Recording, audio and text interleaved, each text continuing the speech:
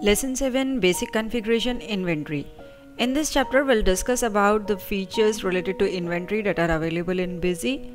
Busy provides a lot of inventory related features using which you can maintain stock efficiently and very quickly. In our previous chapter, we have discussed about accounting related features. In this chapter, we'll discuss how we can use and configure inventory related features provided in Busy for Basic Edition. First of all, we'll go to Administration, Configuration, Features Options, Inventory tab. Here you can see a lot of inventory options are provided. Some options are disabled because those options are not part of our Basic Edition. They are part of our Standard Edition or Enterprise Edition. So here we'll discuss the options that are available in Basic Edition starting with the first option quantity decimal places. In this option you can specify the number of decimal places required with the quantity of the item. Next is item wise discount decimal places. You can specify the number of digits or number of decimal places for item wise discount. Next option is enable multi godown inventory. Using multi godown inventory feature you can maintain stock at multiple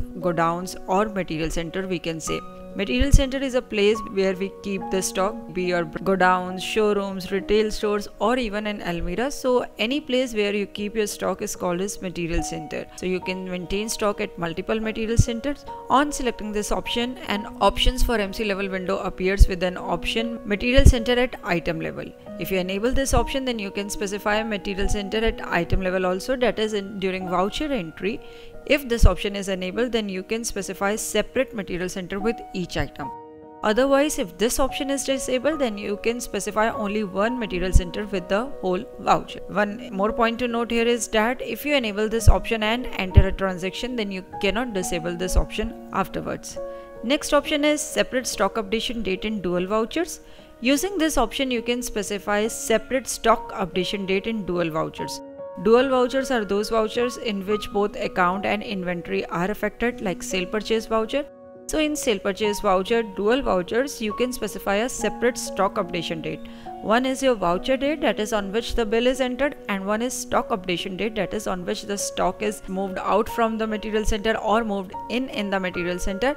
Basically during voucher entry when you press enter key on the voucher date, a stock updation date window will appear in which you can specify the stock updation date.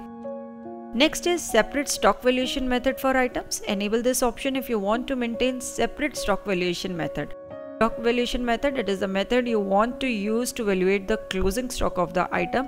If you want to specify a separate method with each item then you can enable this option. Next options are allow sales return in sales voucher and allow purchase return in purchase voucher. Using these options, you can specify sale return or purchase return details in sale or purchase voucher itself. For example, a customer is returning some goods and at the same time he is buying some goods from you. So in the sales voucher, you can specify the goods that the customer is purchasing and you can enter the goods are returned by the customer with a negative sign that is a minus symbol. Quantity entered with a minus symbol will be treated as sale return quantity and the amount of the same will be reduced from the voucher amount and the inventory will be increased because we have received back a certain quantity. Next options are validate sale return with original sales and validate purchase return with original purchase. If you want to validate the purchase return or sale return with the original sale or purchase then you can enable this option. Basically on enabling these options while entering sale return or purchase return voucher, you can specify the details of the original sales voucher or original purchase vouchers and in some way you can tag you can tag that this sale return or purchase return is against this sale or purchase voucher and at the same time if you do not enter correct sale purchase original sale purchase details busy will also show you a message. Next is enable bill sundry narration. Enable this option if you want to specify narration with each bill sundry you will apply in the voucher. Next, item wise discount type that is want to provide simple discount with the item or you do not want to apply it item wise discount then you can select the option accordingly. Next is stock valuation method. You can see an exhaustive list of stock valuation method is provided in Busy. You can choose the stock valuation method which is best suited to your business type.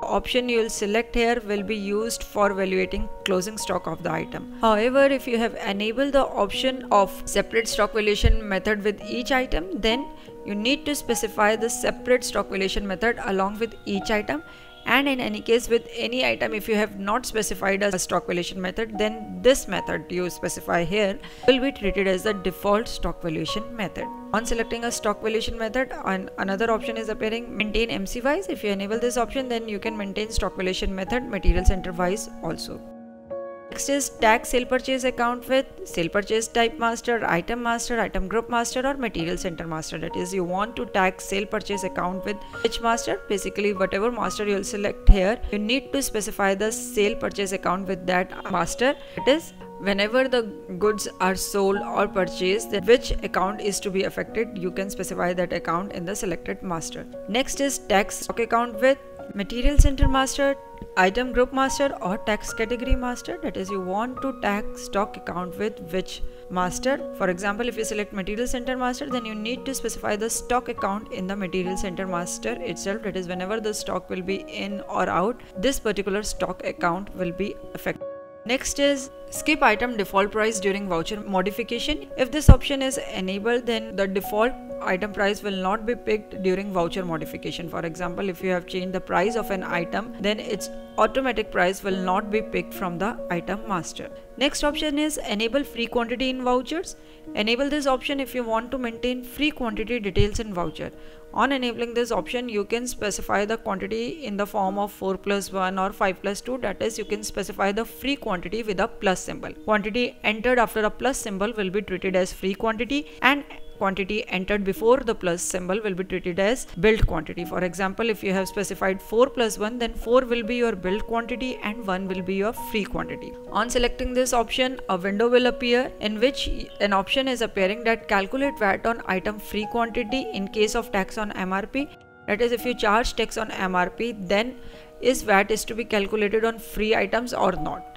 Next option is allocate additional expense voucher wise. If you want to allocate certain additional expenses voucher wise then you can enable this option. Basically while saving the vouchers a window will appear in which you can specify the expense related to that voucher. Next is allocate expense purchase to item. On enabling this option in accounting vouchers like payment and receipt voucher you can allocate additional expenses or purchases to item. For example if you are making an entry for advertisement expenses then a window will appear in which you can specify specify the items to which you want to allocate those expenses advertisement expenses or any purchase to those items. Next is show items current balance during voucher entry. Enable this option if you want to view items current balance during the voucher entry. That is the item you have selected in the voucher. Busy will show its current stock on the screen in the form of a label. Next option is maintain drug license. This option is useful for pharma businesses. If you enable this option then you can specify the drug license number for your parties and your company itself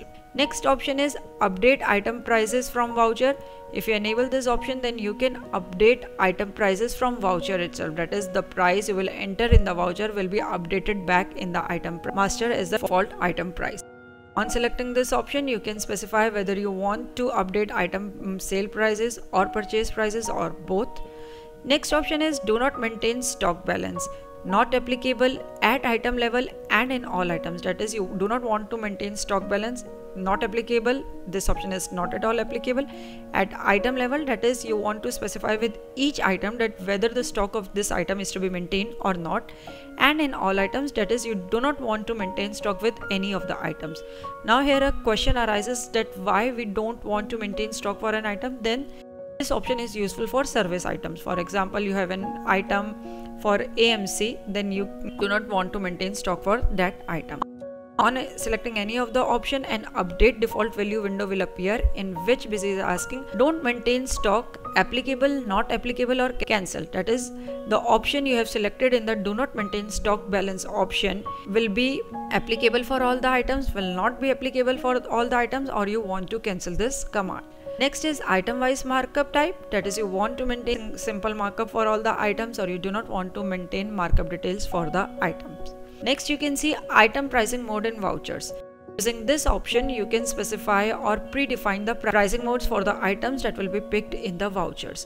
On clicking this button you can see a lot of pricing modes are appearing though some are disabled here because they are part of our standard edition or enterprise edition. And one more thing to note here is that you can specify separate pricing modes for sales voucher and purchase voucher. The first option here is show party's last price in sales voucher. That is item's price is to be picked as per the price at which the item is last sold to the party. This option is party specific that is the price at which the item is sold or purchased to the party will only be picked.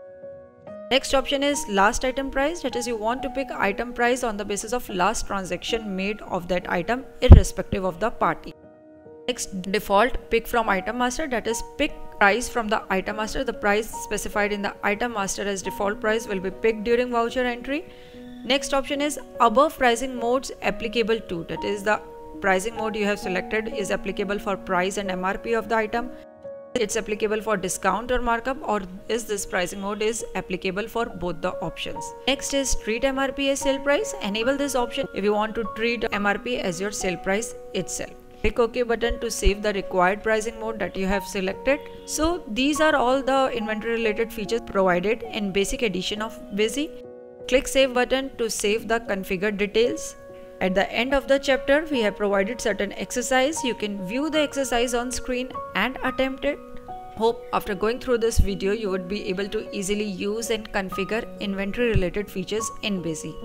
Thanks for watching. For more videos, subscribe to our YouTube channel.